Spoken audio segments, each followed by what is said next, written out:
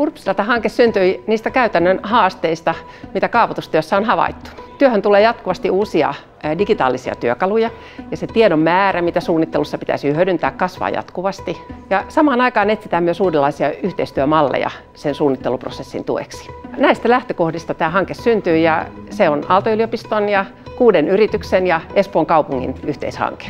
Tässä URPS-hankkeessa kaiken kaikkiaan niin saavutettiin kyllä aikamoisia askeleita eteenpäin. Kyllä, kyllä siinä on niin nähtävissä jo se, että maankäytön kehittämisen prosessin kautta pelkästään alan ammattilaiset hyötyvät siitä, että me saadaan 3D-malliin alueellisesti asiat kiinni ja syötettyä siihen myöskin se neljäs D mukaan, eli ajallisuus.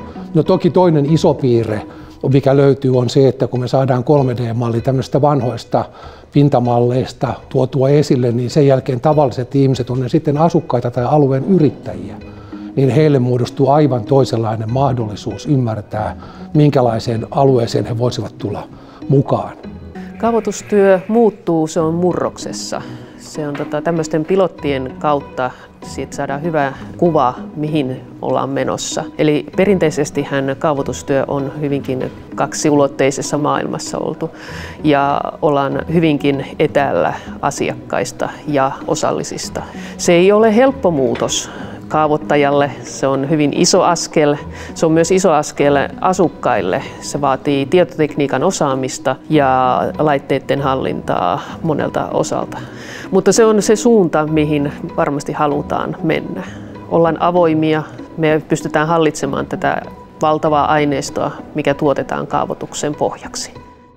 Hankkeessa kehitettiin uusia kaupunkisuunnittelun työtapoja ja työkaluja, joilla pyritään vastaamaan havaittuihin tiedonhallinnan ongelmiin. Tällä hetkellä suunnittelutieto on hajanaista, mikä tekee kaavoittajien työstä kuormittavaa. Lisäksi riskinä on tiedon katoaminen ja hallinnan katkonaisuus. Tietomallit ja digitaaliset aineistot mahdollistavat uuden tyyppiset työskentelytavat suunnittelussa, päätöksenteossa ja projektin johtamisessa – Sitovaisin louhipalvelu on paikkatiedolla johtamisen työkalu, johon kootaan aluerakentamisen tietoaineistot ja 3D-kaupunkitietomalli. A-insinöörien Cityfire tuottaa ennusteen alueen arvon nousulle. Se on tarkoitettu kaupunkien, maanomistajien ja viranomaisten käyttöön aluesuunnittelun alkuvaiheessa. Tridifylla visualisoidaan kaavoituksen kannalta olennaisia tietoja, kuten rakennusten korkeuden, runkosyvyyden ja kerrosalan suhdetta toisiinsa – Aalto-yliopistossa kehitettävä versionhallintatyökalu pyrkii vastaamaan kaavoituksen tiedonhallinnan haasteisiin. Sen avulla kaavaprosessista syntyy versiohistoria, jossa suunnitteluratkaisut ja niiden perustelut ovat helposti hallittavissa ja seurattavissa. Kaupunkisuunnittelu on monien hyvin erilaisten toimijoiden yhteistyötä. Hankkeessa on hahmoteltu kaupunkisuunnitteluhubi kokoaa yhteen näitä eri toimijoita suunnittelun eri vaiheissa ja kehitetyt työkalut tukevat työskentelyä. Erittäin tärkeää on se, että kun toimintaa kehitetään ja työkaluja kehitetään, niin siinä samalla mietitään myös, minkälainen on se tulevaisuuden kaupunkisuunnitteluprosessi ja minkälaisia ovat ne yhteistyön erilaiset mallit.